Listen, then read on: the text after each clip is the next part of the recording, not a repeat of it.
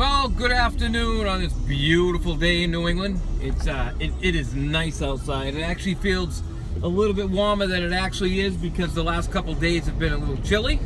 It's nice out now.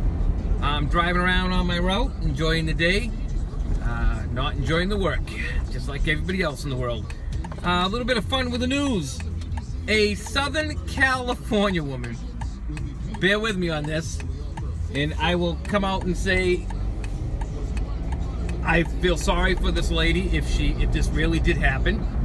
I don't know if this lady is, is sick or who knows, but if this really happened, I do feel sorry for her. I'm not joking around, but to hear the story, here we go.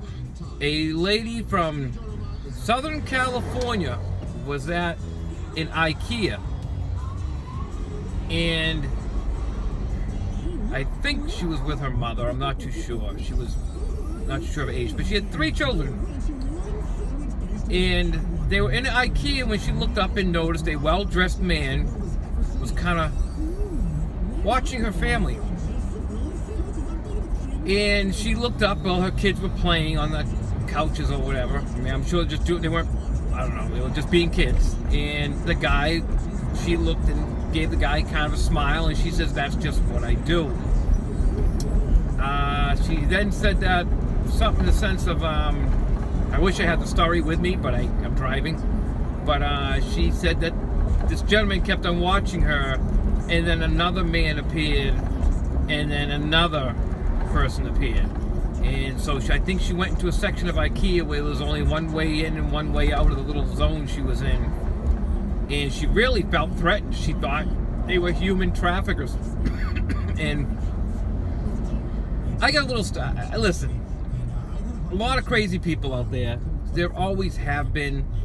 There's a little bit more now because the population has gone up. I mean, I remember when in the 70s, when I was a kid in the late 70s, the milk cartons and the kids in the milk cartons, and we knew if a car stopped, you ran, you ran, you get out of there. If, if a guy asked for directions, you didn't approach the car. You knew, stay far away.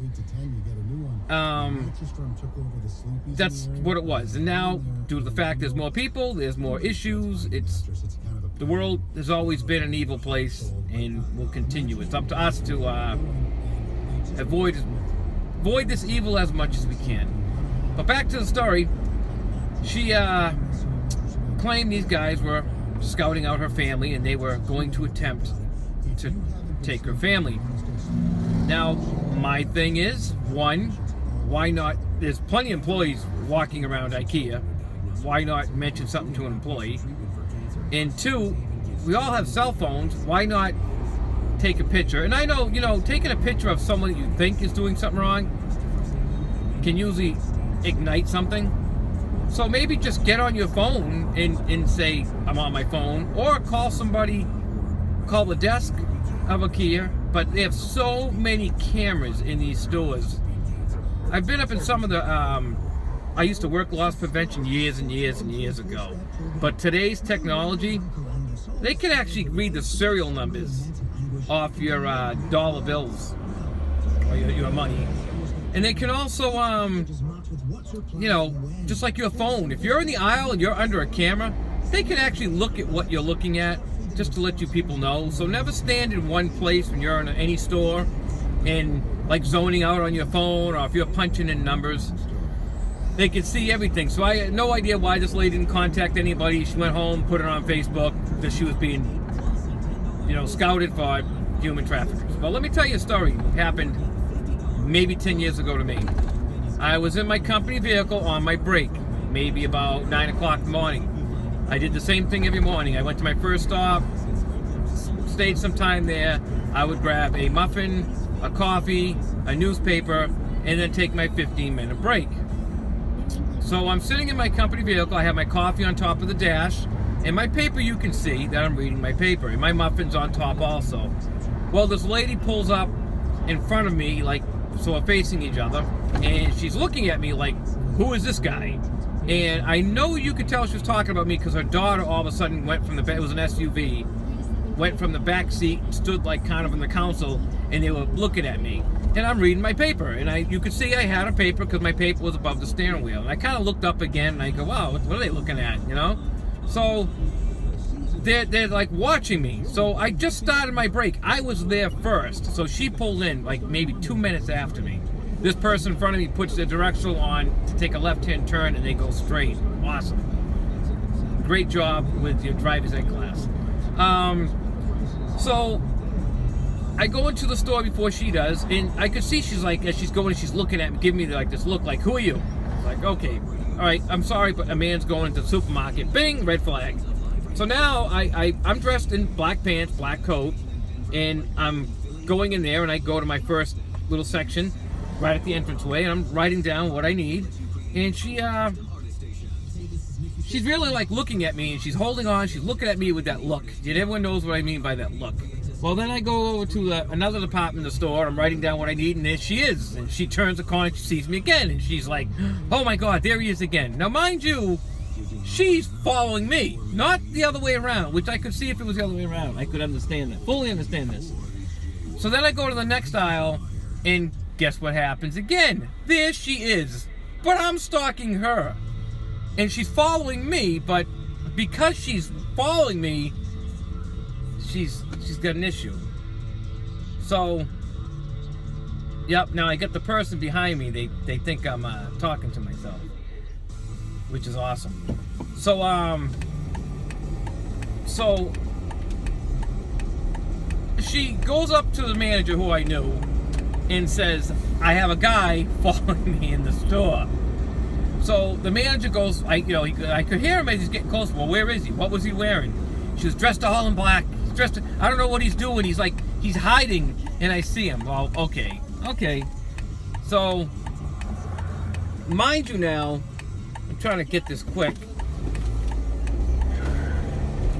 Dickhead, you stop there, and you give me the look like, okay, go ahead, and then I go, and then he speeds up.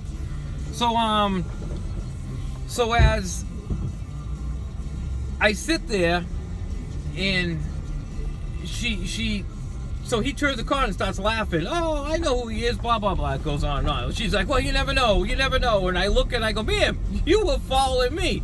So as I was talking to the gentleman about this, he even said the same thing. He went up to see the tape because he was laughing. So he went up to watch the tape and goes, "Hey, it was funny." He goes, "Because you can see how she's she's following you and she accuses you of stalking her. And she wasn't mad at me when she knew who I was. But my point is, you know, we, we always think, it's like, like I tell people like my wife, went like toy shopping, and I tell my wife over and over and over again, I go, um, I go, you gotta understand, like when I go to the toy department, I go, you know, people see a guy in a toy department, they don't sit back and go, oh wow, he's shopping for his kid the first thing they say is, what is this guy doing? Why is this guy, you know, sitting around the toy department? Well, probably because I'm shopping, but I, I, can understand the red flags that are going up. So it is kind of odd. Uh, I'll give you an idea too. Target. Any guy that goes into Target, next time you're there with your wife, notice there's not a lot of women, I mean men, that are in the store.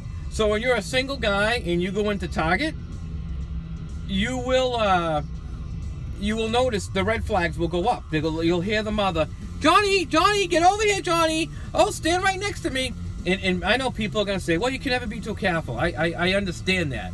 But, you know, they say never judge a book by its cover. But let's put it this way.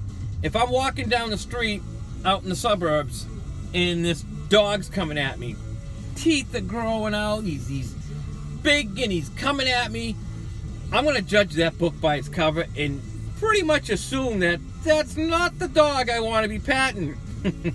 so, yes, we all judge books by the cover. I mean, we say we don't, but we do, and it's just a nat just a, it's a natural thing. It's like you you do, but I'm just saying though, if that story was true in Southern California, I feel sorry for the lady. But if it if it's something she made up just to get out into the public media, um, shame on you. But you should have called security. Keep your heads up.